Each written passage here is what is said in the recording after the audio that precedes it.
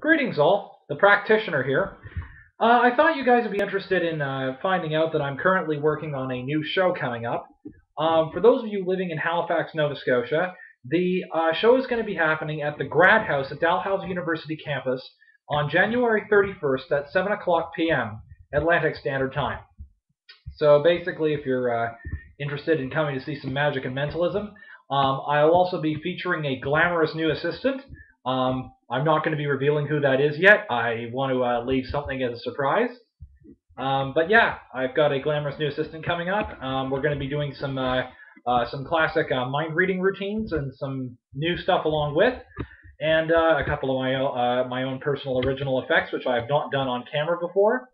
Um, so yeah, like I said, I got some new stuff coming up, and feel free to come catch the show.